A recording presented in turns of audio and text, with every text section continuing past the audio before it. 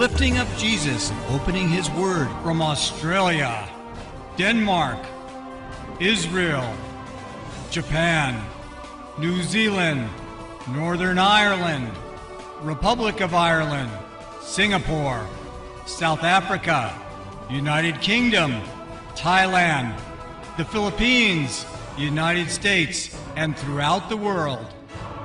You're watching Moriel TV.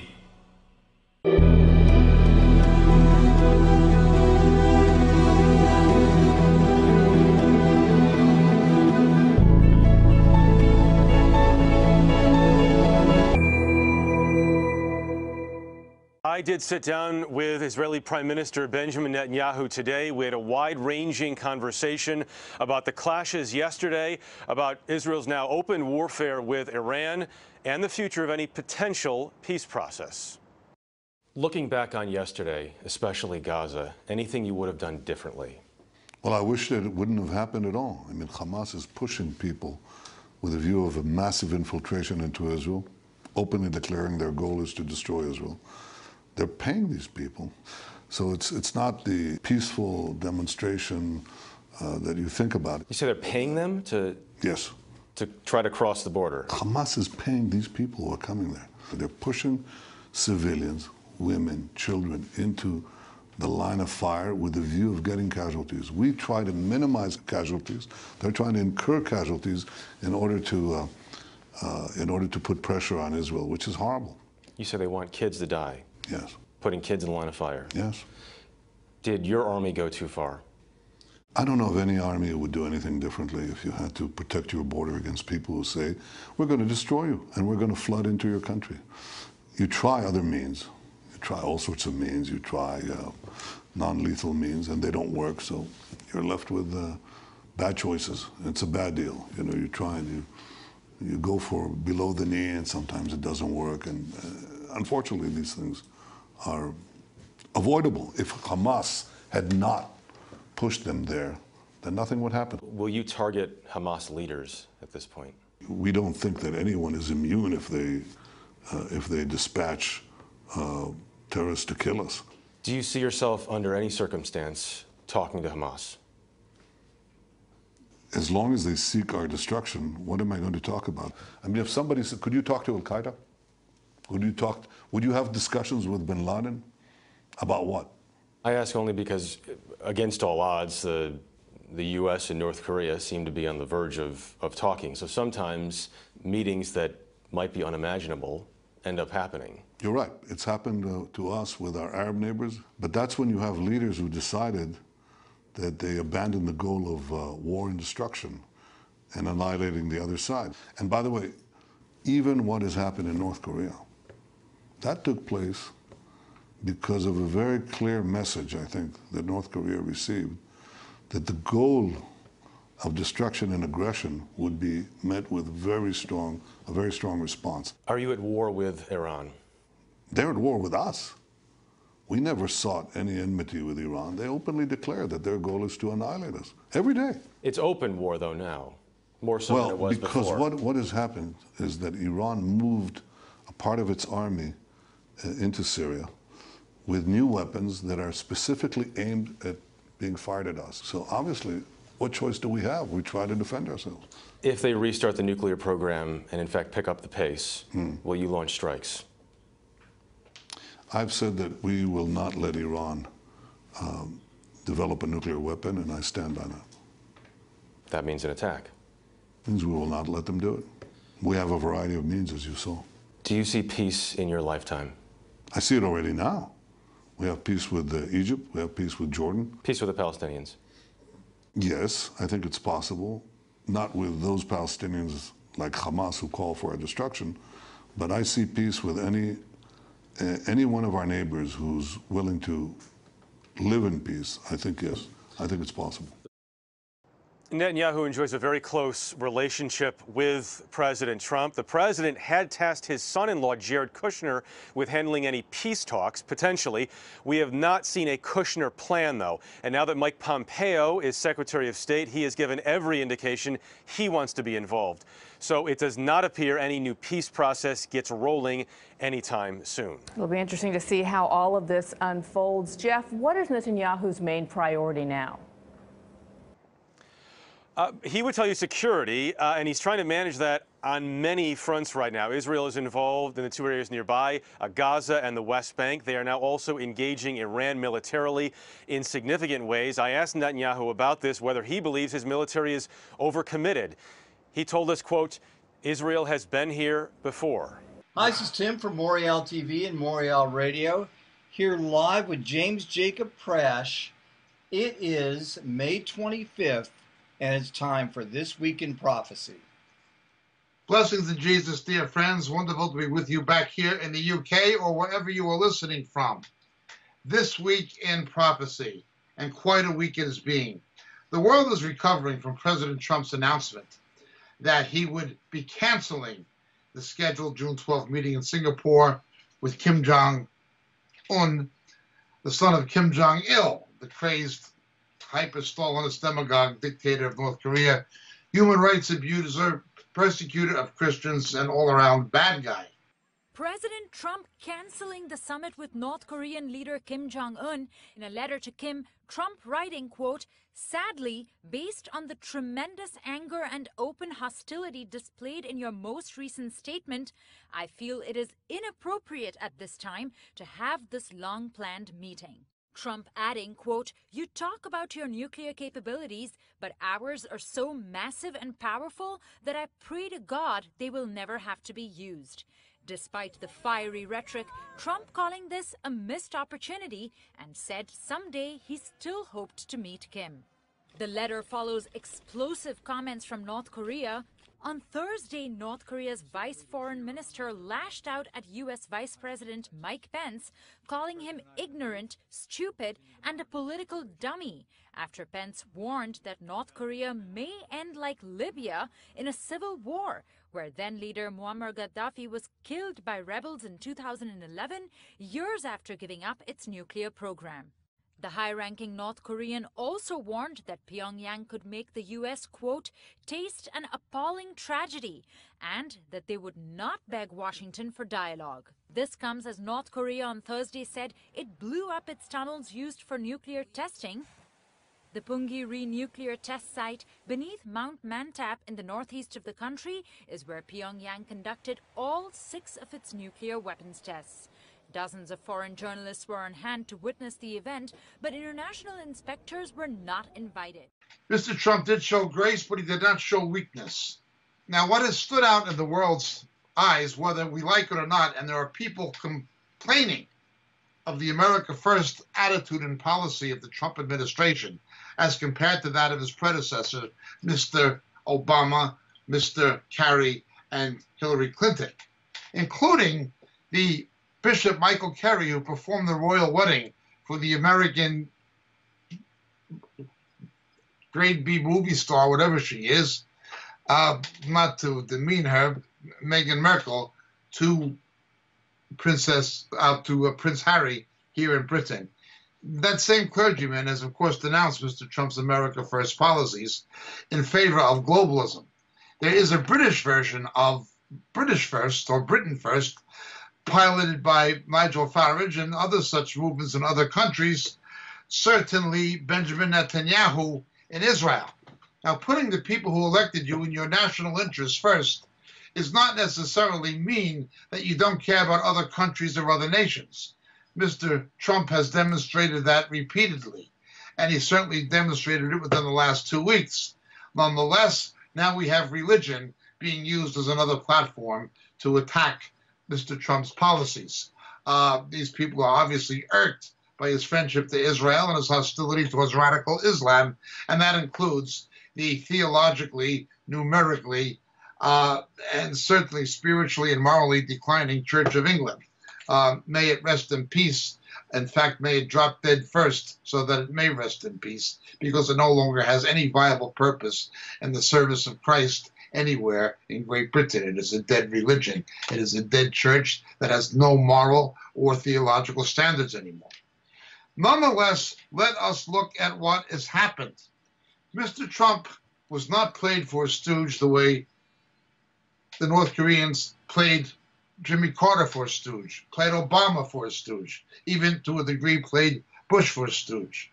They made concessions, get the remunerations and benefits they want, and then break the deal and lie and continue business as usual. Mr. Trump made it clear if it happens, it happens. He's prepared to walk away from the deal. Over the last 10 days, the North Koreans have demanded the cancellation of something they originally agreed to scheduled military exercises between the United States and South Korea, which the Trump White House canceled at the request of Mr. Moon and the South Koreans, who are anxious to have a diplomatic resolution, understandably, with North Korea. But Mr. Trump basically said, not going to play the same old game. It has to be something real and realistic and honest, or it's not going to happen. In this, there were complaints and fears by North Korea, allegedly, of the mention some time ago of a Libya type situation for North Korea. The North Koreans interpreted this to mean not simply the denuclearization of North Korea as took place under Muammar Gaddafi in Libya, but also regime change, which was not necessarily the implication of the American remarks. Nonetheless, the North Koreans began pouting, wavering, threatening to cancel, and Mr. Trump just said, I'm not going to play this game. You want to negotiate, get back to me at some future time, but not now. The North Koreans have responded by playing the victim, saying, We're willing to meet anytime, any place. They say one thing, they do another. This has caused some political distraught in South Korea, however, where the society remains divided against an anti communist line and a line that is more reconciliatory, that is embodied by the government of Mr. Moon. In Japan, Mr. Abe's government, because it has been the victim of so much aggression by North Korea, supports a much harder line and is more in tune with Mr. Trump. Now, the prophetic significance of these things is not direct of anything in Scripture in any overt way, except that Iran and North Korea have been in nuclear cooperation in the development of weapons programs and ballistic missiles. And it may have ramifications for that. But it has created a buttressing climate of America first. America has acted in a way that the Obama administration did not with North Korea. It has acted in a way directly contrary to the way the Obama administration did with Iran, which is of tremendous prophetic significance. We know, of course, that when American naval servicemen were seized by the Iranians at gunpoint, made to kneel down with their hands on their heads, that the Obama administration secretly took $400 million of American money and paid ransom for those captured American seamen in order to get them back instead of standing up to Iran. This is Barack Obama's sellout and betrayal of American interests, the national humiliation. Well, the North Koreans know they can't play that game anymore, and so do the Iranians know they cannot play that game. So let's begin with this week in prophecy. The F 35, as we reported approximately three weeks ago, flown by Israeli pilots with advanced American and Israeli avionics packages, made experimental incursions into Iranian airspace. We also know from briefings by the Israeli Air Force High Command that Israel has been practicing for attacks on possibly Tehran by flying over Beirut and other possible targets. For some time, well over two years, Israeli F-15s have been in secret cooperation with Greece and Cyprus, been flying to Greece and back to Israel in simulated air attack exercises, going a co-equal distance in the opposite direction of what it would take for the Israelis to carry out airstrikes against Iran. Well, so it continues. But this week, in prophecy, it has been formulated that following Mr. Trump's warnings and Mr. Pompeo's warnings, that if Iran resumes its nuclear weapons development capacity, there will be a response. F 35s, but also now for the first time, Jericho 3 missiles carrying 750 kilograms of ordnance launched by Israel are indeed capable of hitting the Natanz, Isfahan, and Arak, the three key Iranian nuclear facilities for the development of nuclear armaments. This week in prophecy was also disclosed that an American university think tank and research center, as well as undoubtedly the Pentagon and CIA, have data of an Iranian development project for long range intercontinental ballistic missiles with the eventual aim of being able to hit the United States from Iran. This is something that the United States and certainly the Trump administration would find very, very threatening. If the Israelis were to use the Jericho 3 missile, there would be no pilot risk, no need for refueling or the political negotiations that would go with it with the Saudi Arabians and so forth. If enrichment does continue, Iran has fully deployed Bavar 347 anti aircraft missile systems. But again, the Israelis have been well experimenting as how to evade them and carry out airstrikes despite them. Watch this space. The United States and Israel both have contingency plans if Iran seeks to reactivate its nuclear development weapons program. United States has also struck Homs. It was not Israel, as was originally speculated last week, but reported this week in prophecy, near the border of Iraq, close to the city of Al Qasar. 12 Assad or pro Assad combatants were reported killed, but Syrian spokesmen have claimed that the missile aggression, as they described it, was met with interception. Anyway, the United States is still actively attacking targets not only in Iraq, but attacking targets inside Syria that are in the Assad camp. And Homs, a military airport closer to the Iraqi border, is where it happened and is reported this week in prophecy. Following the briefing by Israeli General Amikam Norkin about the performance of the F 35 over Beirut. Again, bearing in mind that these have already buzzed Iran. We have further details on the clash between the Israeli Air Force and the Al Quds Brigade of the Iranian Guard inside of Syria. Ongoing direct military clashes between Israel and Iran continue inside the Syrian border and most likely against Iran backed, armed, and uh, sponsored Hezbollah forces in Syria closer to the Lebanese border, where they're trying to outflank the Israeli positions on the Golan Heights and in northern Galilee. Again, we've been speaking of this for some weeks, but the matter has not receded. Iran continues using cargo planes to build up the forces of Assad and to replenish Iranian positions inside of Syria with the approval of the Iranian government. Hezbollah and Iran are not up for negotiation officially, according to Assad, who says that the presence of Iran in Syria is something that is going to be ongoing, as is Hezbollah, and he sees that as something that he's not going to withdraw doing, despite Israeli pressure to do so, both militarily and through third parties diplomatically. At the same time, however, there is now reported this week in prophecy some evidence that Mr. Putin, and remember, Mr. Assad will do whatever Mr. Putin tells him, that Mr. Putin has to a degree given some cooperation to Israel and the United States in its actions against Iran. What could the reasons for this be in the shorter term? This would seem to go against any imminent suggestion of a Gog and Magog scenario, although not eliminating it by any means, eventually, or as, an eventual possibility. Russia knows the Shia regime is religious fanaticism incarnate. And Russia has its own goals concerning oil and natural gas under the Eastern Mediterranean.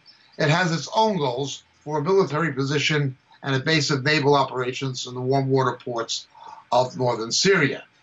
It does not want to be in a power play with Iran for political influence and control inside of Syria. This may be part of the reason.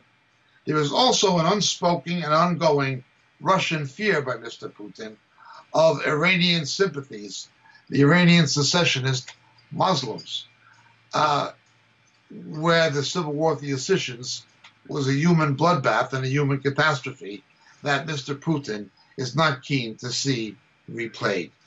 But so the story continues.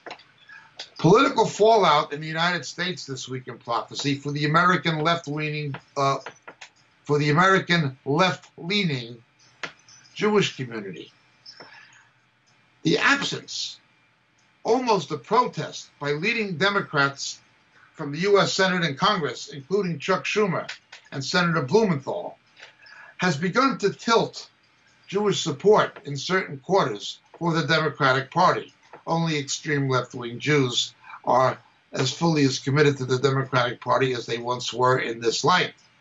So too are the pro Hamas actions by certain members of the Democratic Party and the Linda Sarsour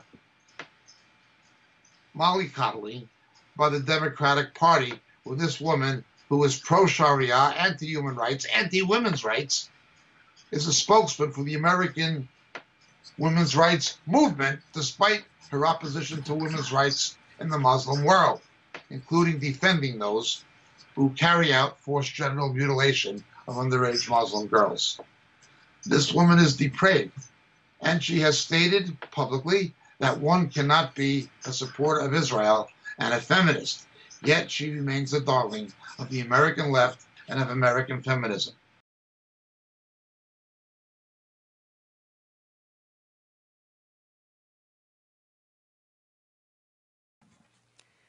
Good evening, everyone. So I am really um, deeply honored and humbled uh, to be here on the stage with people who have been some of the staunchest allies of the communities that I come from, of Muslim communities, of Palestinian communities, of Arab American communities. We've spent a lot of time on the front lines together protecting each other, but also protecting other marginalized communities, and I'm so grateful to be on the same stage with you again tonight. So apparently, I'm the biggest problem for the Jewish community. I am like the existential threat, apparently. And it really is very, confu- I'm confused, literally every day. And I'm confused by people who actually don't know who I am, have never sat on a table with me, and for sure have never been anywhere near a social justice movement in these United States of America. And if they ever have been in space with me, including recently at the Left Forum for anyone who is here, one of the things I focused on at, at, the Left Forum is I said to folks in the room, progressive folks, all pretty much down, I said to them, oftentimes when we come into conversation together, we always look at the ills of the things or the exterior to our progressive movement. What we really need to be doing is looking at the ills within the movement that we are a part of which is not exclusive to anti-Semitism or to Islamophobia or to homophobia or to transphobia. My role here tonight was I was coming to speak to a progressive audience as a progressive leader in the progressive movement to say that we cannot dismantle anti-black racism, Islamophobia, homophobia, transphobia, every phobia and ism without also dismantling anti-Semitism. That intersectionality as an intersectional movement organizer, and I've been doing intersectionality way before last year when everybody thought it was cool to talk about intersectionality. Thank you to Dr. Kimberlé Crenshaw for giving us that term. Intersectionality is not about black people and white people organizing together or Jews and Muslims organizing together. That's not what intersectionality is. Intersectionality is all of us organizing at the intersections of oppression and seeing oppression connected. So anti-Semitism is one branch on a larger tree of racism. So you can't just address one branch. You got to address all the branches together so we can get to the root of the problem. Apparently, the critics say, well, why are you all having a conversation about anti-Semitism? You're not experts in anti-Semitism and in Jewish communities. Well, first of all, all these people up here are Jews, if you didn't know. and I'm the resident non-Jew on this panel. and what I think is so ludicrous about that, which has basically been the argument for pretty much every the 199 plus op-eds that are out there.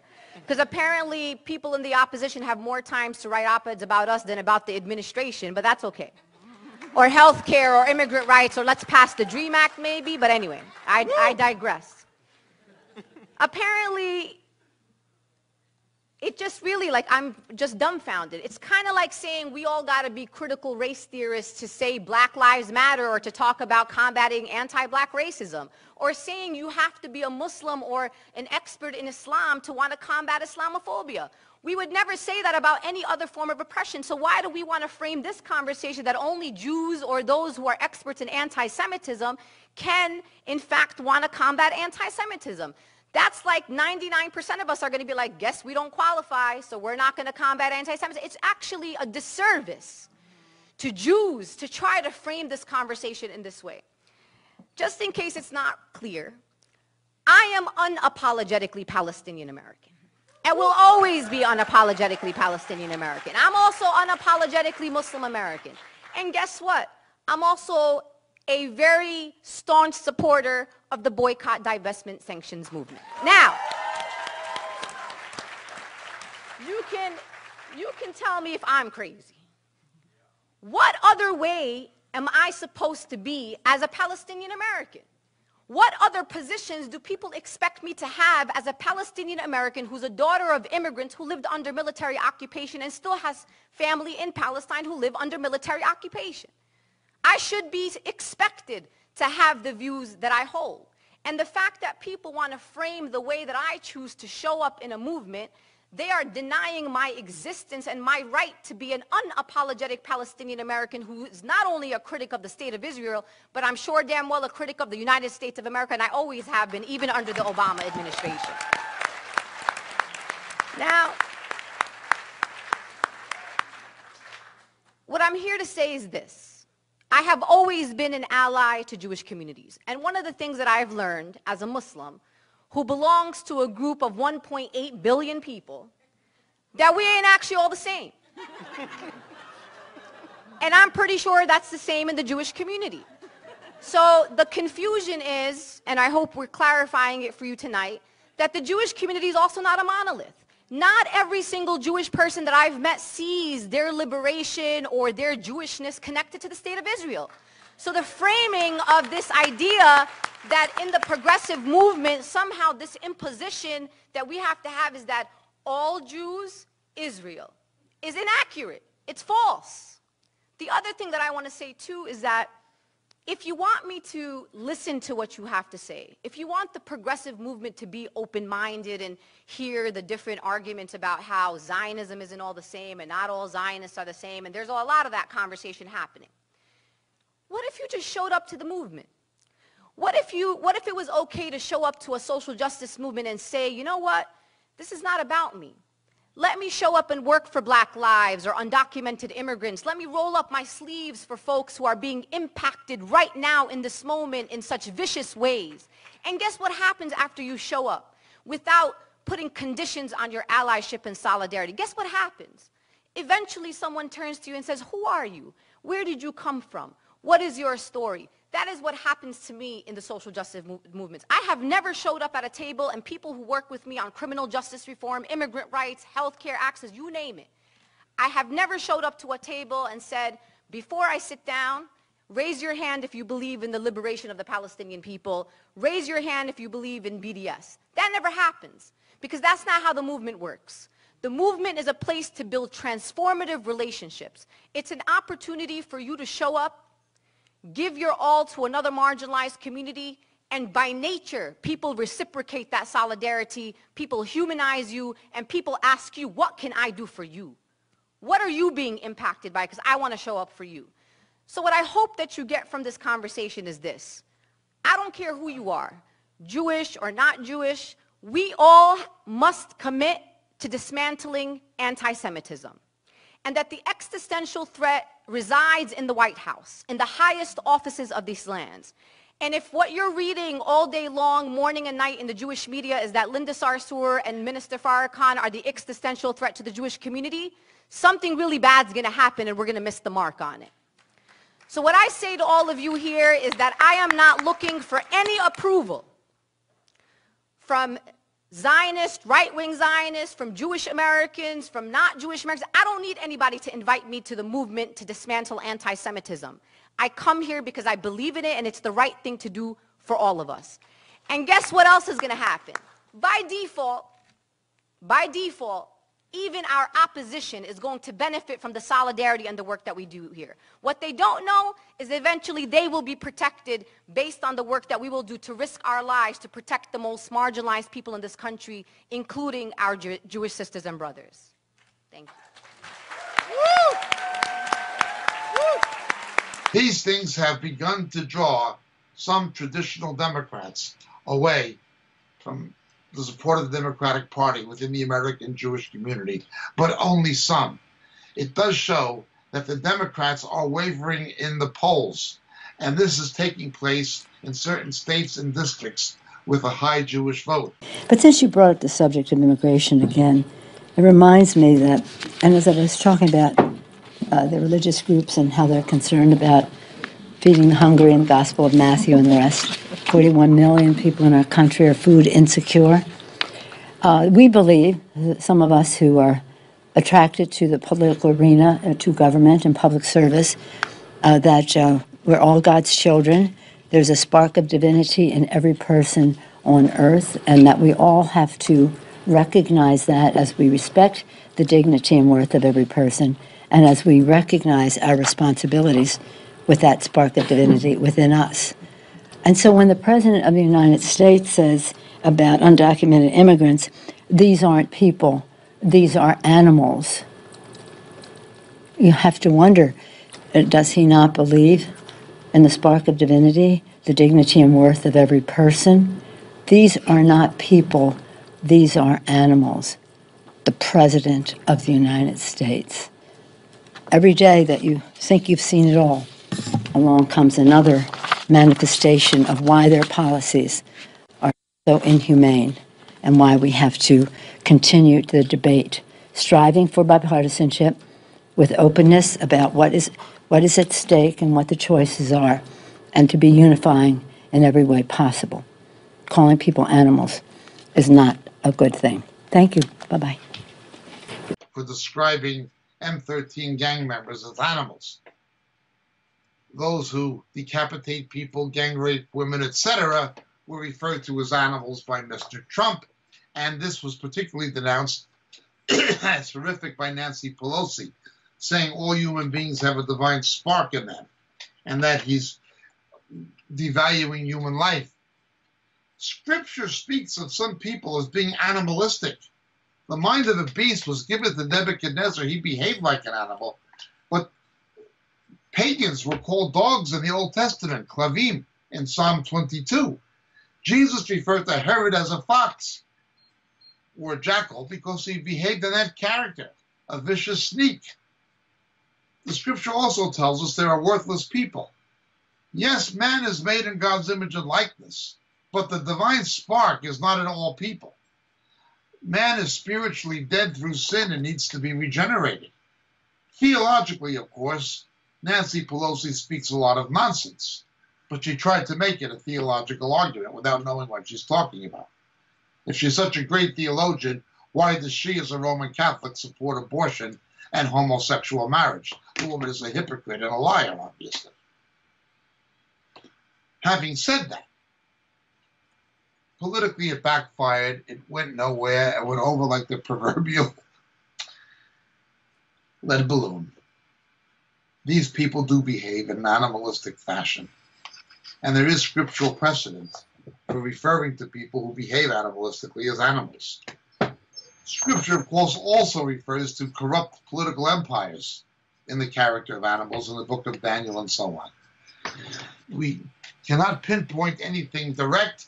We can simply look at the polls, yet there does seem to be something taking shape as a result of the anti Israel actions of the Democratic Party and the willingness of leading Jewish Democrats in the Senate and in politics generally to go along with it to accommodate it. Rahm Emanuel, mayor of Chicago, has said nothing. Uh, either has Chuck Schumer, either has Blumenthal. They all boycotted the opening of the American embassy in Jerusalem, and it was noticed by the Israeli public and press. We have to remember that while more than 80% of Republicans, a fair number of independents, and also some libertarians are pro Israel, only 27% of Democrats are sympathetic to Israel. It's becoming an extremely anti Zionist and, under the surface, anti Jewish party. What kind of Jew in his right mind would continue to support it? Unfortunately, there are many left wing Jews who evidently are not in their right mind.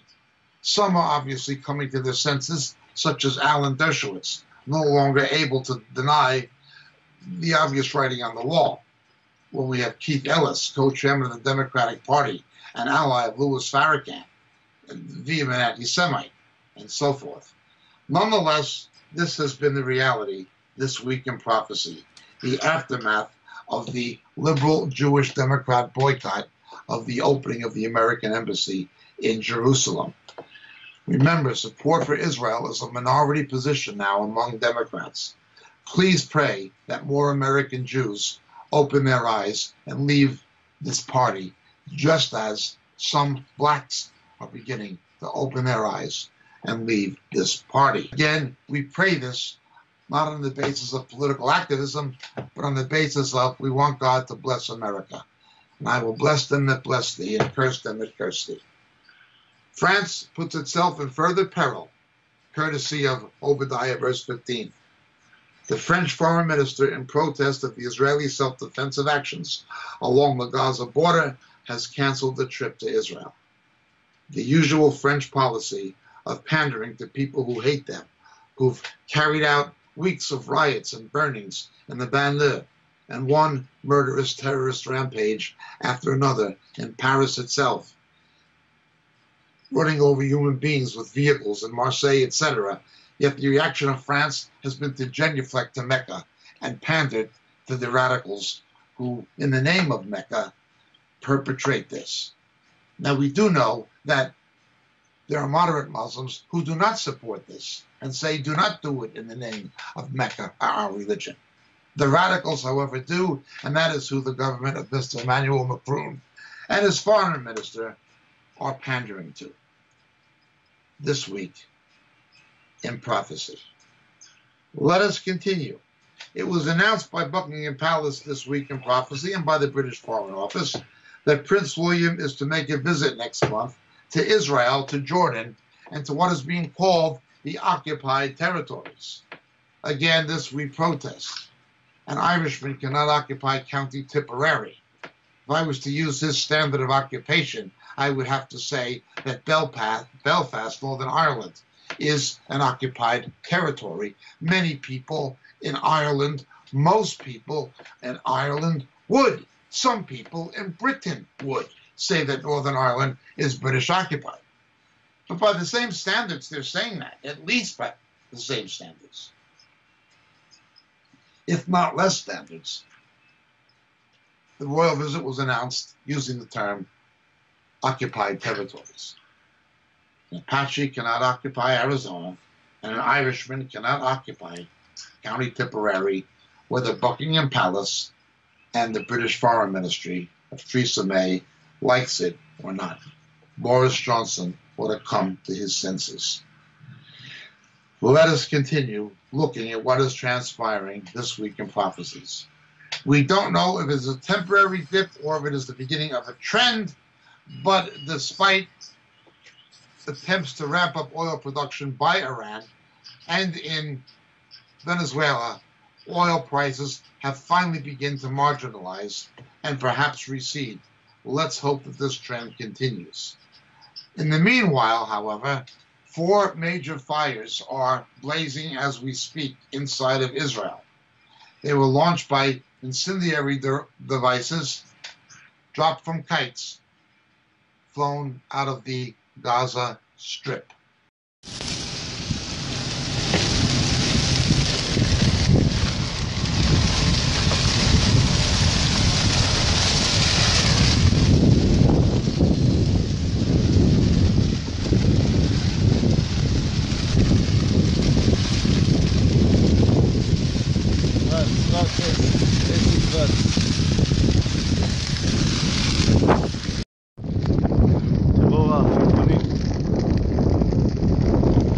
חי, חורשות בארי, יד אנזק. הכל בוער.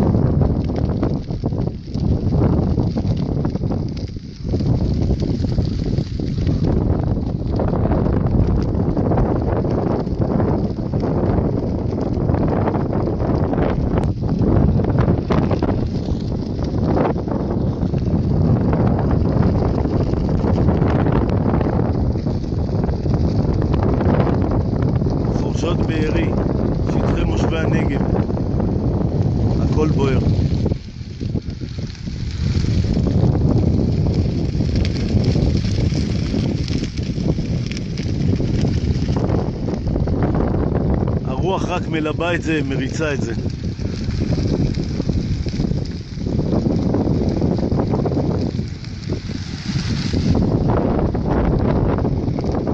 For once, breaking with UN norms, UN General Secretary Guillermo Guterres has finally voiced the condemnation of the actions of Hamas, understanding that they were provocative in the Israeli response that was necessitated as an act of self defense. It is about time, but let us hope and pray it is not simply a one off. May these fires be brought under control quickly. We pray this in the name of the Lord Jesus. This week in prophecy. The situation continues with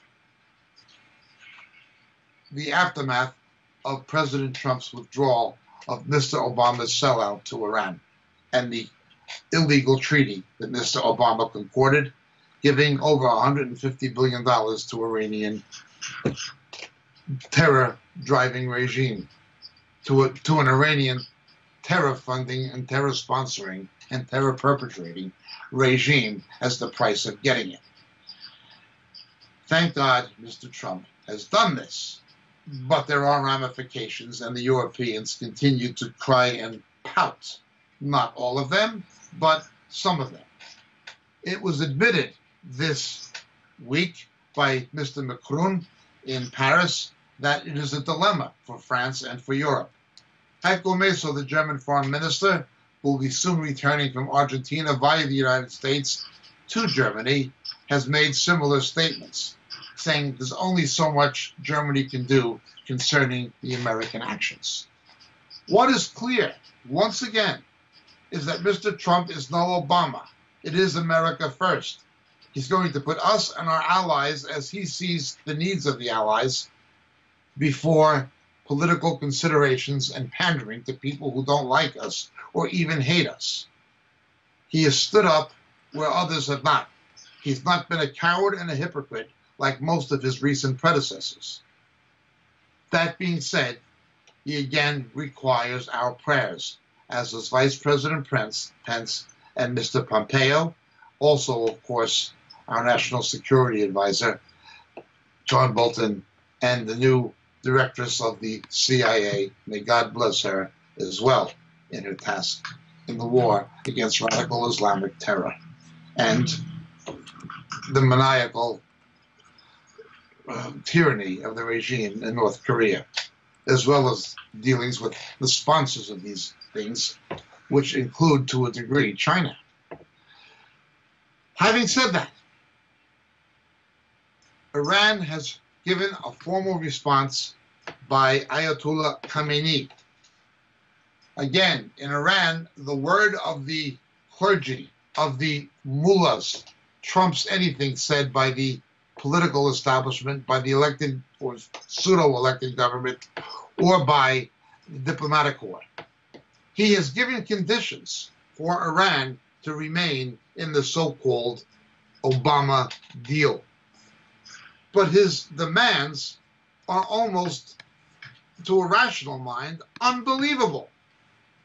He said there will be no missile negotiations. Iran can continue to develop medium and long range missiles capable of developing nuclear warheads, biological warheads, chemical warheads, but it's not on the agenda for any negotiation. You can't negotiate it. It was one of the complaints that both Israel and the Trump administration had concerning the Obama sellout.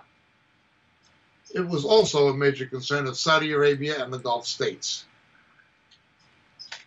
The second condition that there would be no inclusion or any consideration of Iran's other activities in the Middle East. In other words, their presence in Syria and their sponsorship of terror in Gaza, Lebanon, and elsewhere. Yes, we're sponsoring terror, but you've got to continue the deal anyway and give us money and do business with us on our terms. And it's not up for discussion if we want to finance terror, even though your own citizens may be the victims of it in some attacks.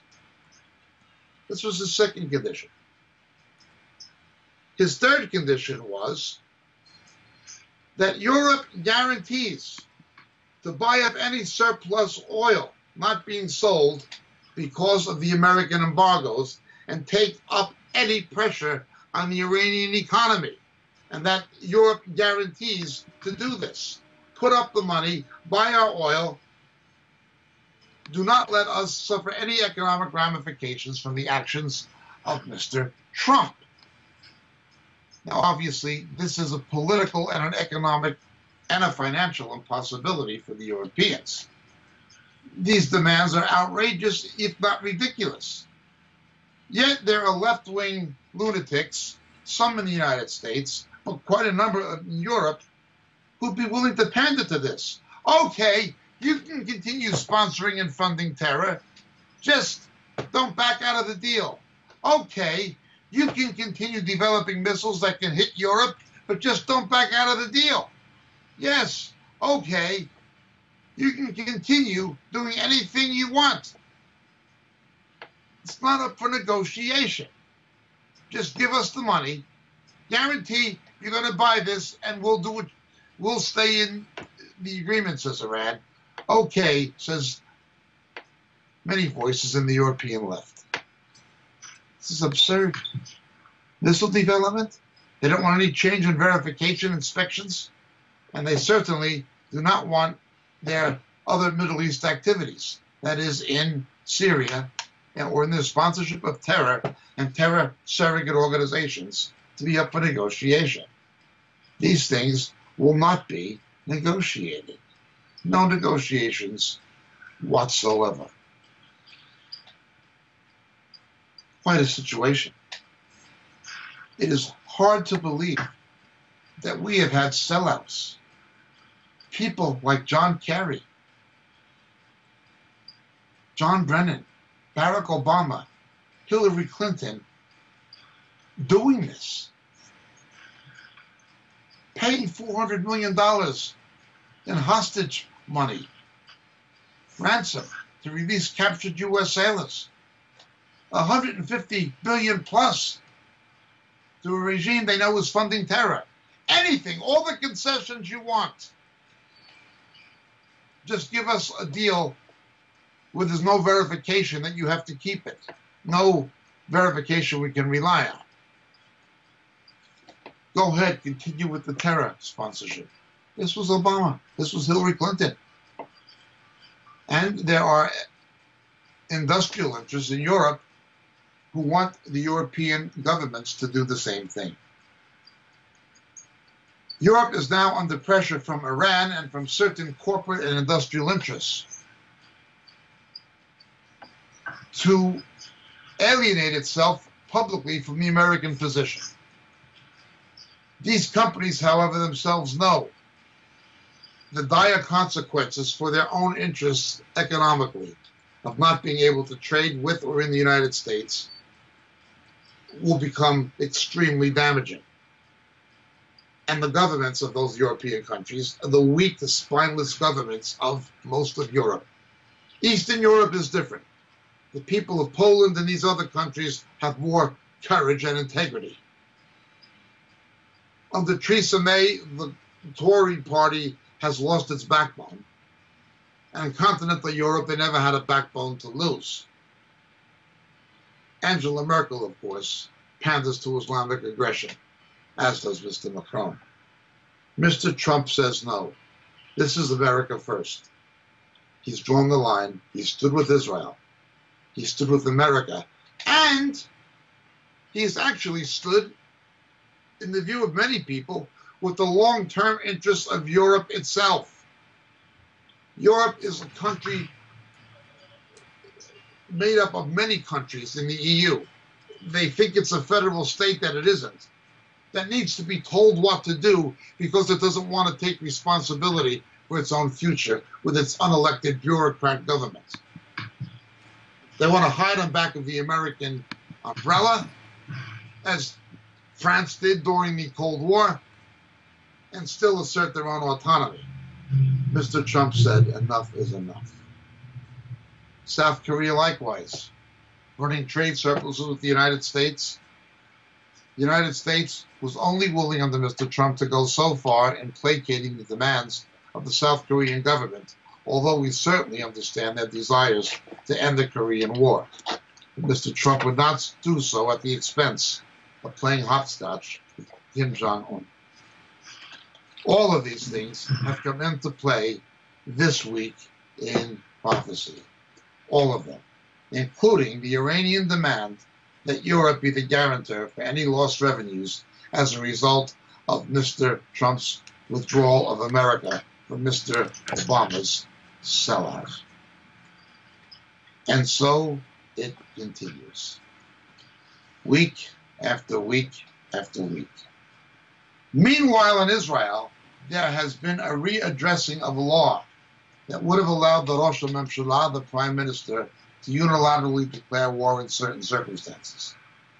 That has now been rescinded and is back firmly in the hands of the Security Cabinet.